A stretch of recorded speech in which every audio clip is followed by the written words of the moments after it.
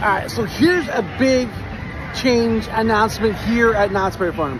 When you guys come to the entrance of Knott's Berry Farm, if you have a backpack or if you have a bag, they make you take everything out of the backpack and in your bag and they place it on a tray for you in order for you to come inside now.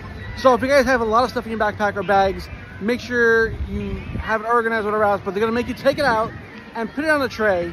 Not, not like Disney. Disney, they search your bag. They don't make you take everything out. Sometimes they do, but it's very rare. But you're at Knott's Berry Farm, starting this week, you have to take everything out of your bag, out of your backpack in order to get in the park. Some Maybe someone carries something in, I don't know. Also, they're starting to do what Universal Studios does. They're making certain people take off their belts. I was lucky, I carried a little small little bag. They didn't check my bag, they didn't ask me to take anything out. Didn't ask me to take my belt off, but I've seen other people ask for the belts to come off. And also, if you guys, like I said, you guys carry a backpack or a bag, they're gonna make you take everything out, place it on a tray, and then have it run through.